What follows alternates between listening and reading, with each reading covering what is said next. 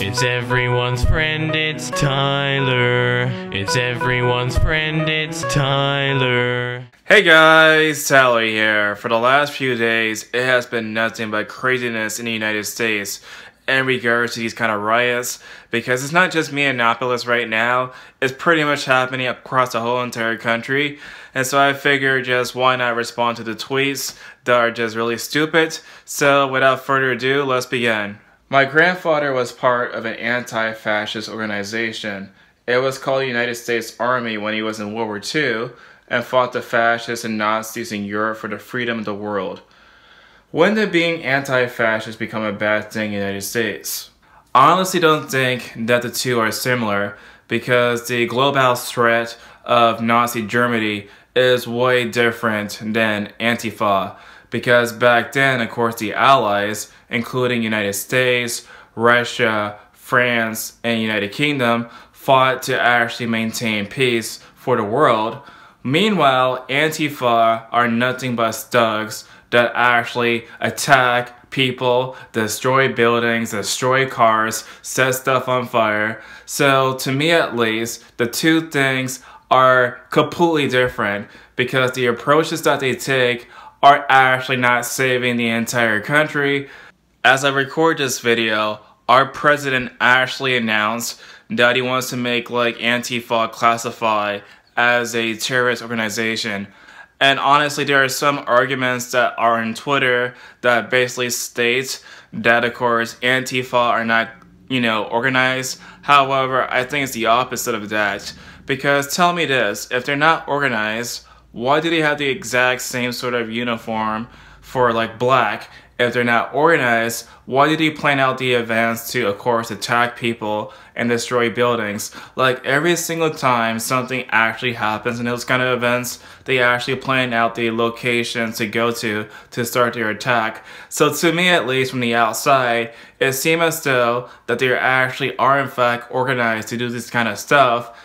And to say otherwise, I don't know how to feel about that. Islam is a religion of justice and a religion that forbids any form of racism. Hashtag Black Lives Matter. Hashtag I can't breathe. I find it so funny that this person is claiming that Islam is anti-racist because you can find in Hadith that of course that Muhammad was depicted as a white guy and of course he had like black slaves and he referred to the slaves as raisins. And of course, slavery in the Islamic world continues to happen to this very day. So, if it's so anti racist, why is there's like various stories of Muhammad actually owning black slaves, calling them raisins, and actually having slavery in the Middle East and African countries? So, that's like the worst type of anti racism, if you were to ask me. White supremacists equals Trump supporters. These are Trump supporters burning and looting. There's like a lot of garbage that I need to unpack for that tweet. For starters, just because somebody is like a Trump supporter, I don't automatically think that they're white supremacists.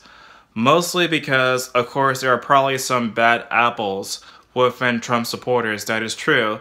Maybe some of them are in fact legit white supremacists, but to assume automatically that a Trump supporter is a white supremacist is not actually giving them the courtesy to actually give them the benefit of the doubt that they're not white supremacists. So, not all Trump supporters are white supremacists, and I'm pretty sure you can say the same exact thing in regards to other candidates. For example, I'm pretty sure like people like Obama or like, you know, people like Clinton had some really bad supporters that were like Antifa or white supremacists. However, it's not right for me to label all Obama supporters or all Clinton supporters as white supremacists. So I think this whole entire tweet generalized the idea that if you're a Trump supporter, you're a white supremacist. However, that is just reductionist reasoning. It does not make any sense to me. As far as, of course, build, like destroying buildings and stuff, those are not white supremacists. That's actually Antifa. So not are you wrong about, of course, the idea of these people being white supremacists, you're also wrong to assume that all Trump supporters are white supremacists. All this video really proves to me is that the riots are long overdue. This, Floyd, and every video like them are infuriating.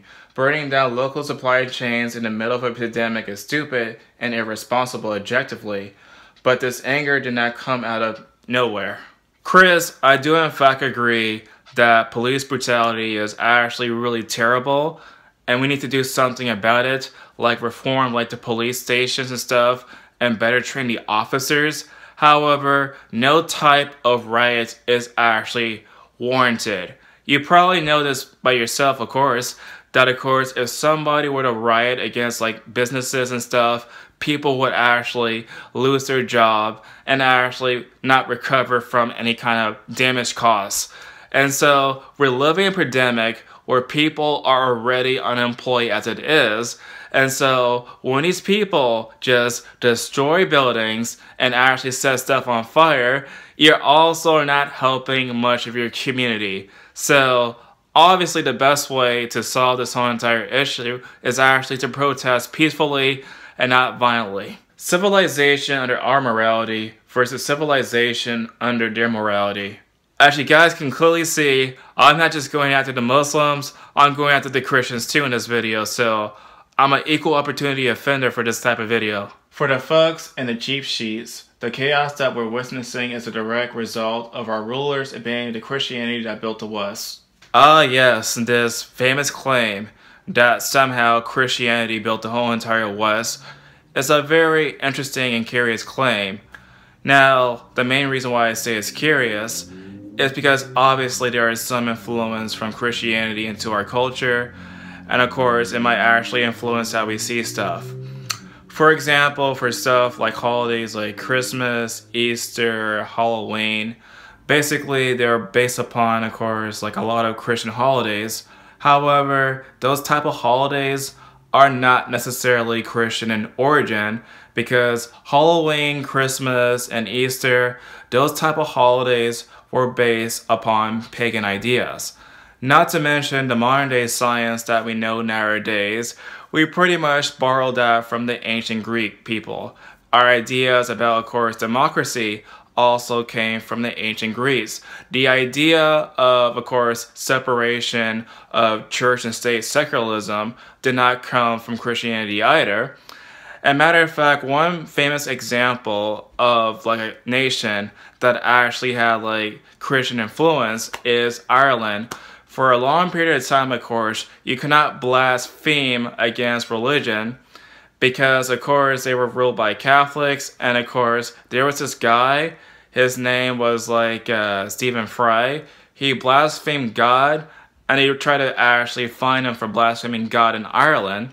Now, my only conclusion from that whole entire scenario is how basically that whole entire thing was inspired by the Ten Commandments because it said do not use God's name in vain. And that's probably the main reason why they had the blasphemy law. However, as I speak right now, the blasphemy law is actually illegal in Ireland. So I'm really, really happy about that news. For the case of the United States, like basically people who are Christians went after like a lot of stuff for minorities.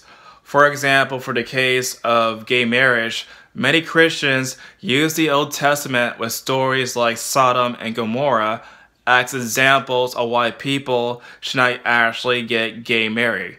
Another example of this is, of course, women's rights. Now, the women liberation, it was not inspired by Christianity because basically the Bible states that women should be silent in church and be like the like the homemaker and also another example of this is like slavery, where basically, of course, it says like slaves need to, of course, like obey their masters.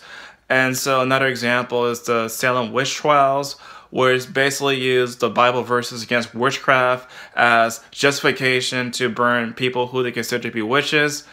And so it seems as though that the more religious society is, the more authoritative it is, the less rights the people actually have.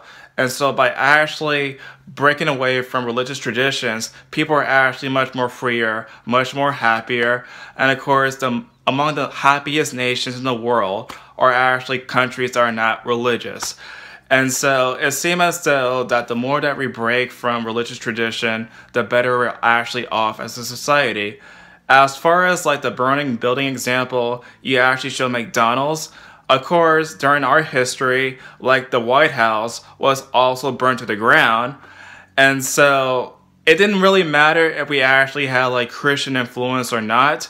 Basically, the White House also burnt down. So, not a good example, really. Anti racism is not a code for anti white. There are white rioters and black cops. Everyone benefits from a more just and fair society, no matter their skin color. Actually, anti racism is in fact anti white because a lot of these activists that are on the street nowadays, they claim that they cannot be racist because of power and prejudice, and so therefore they cannot be racist against other people. So yes, every single time woke activists actually say that and claim that they're anti-racist, they are in fact, you know, anti-white. George Floyd did not die from a neck to the knee. He was not murdered by cops. He had a terrible underlying health conditions. Anyone who called the cops murderers has blood on their hands tonight. God help you all. According to this very insane logic, if I, for example, hit somebody with a car and they actually have some sort of health issues with like the heart and stuff, it's not my fault that I actually killed that person.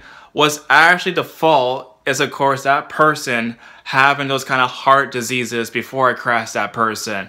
That's how stupid you sound right now. Donald Trump needs to declare himself a dictator. After witnessing the violence in Minneapolis, no Democrat should be allowed to hold power ever again. The Democratic Party is a domestic terrorist organization that wants to watch our country burn. How the fuck do you guys call yourself Liberty Hangout, yet want a dictatorship? My brain just hurts at the start of that whole entire idea. It's everyone's friend, it's Tyler. He's your only black friend, so he's your best black friend. I wouldn't trade him for another black friend. Because black friends are rare, as you should be aware. He smiles like Richard Pryor, so just sit and stare. It's everyone's friend, it's Tyler. It's everyone's friend, it's Tyler. It's everyone's friend, it's Tyler. The events of that day were to lead to the discovery of one of the most bizarre crimes in the annals of American history the Texas Chainsaw Massacre.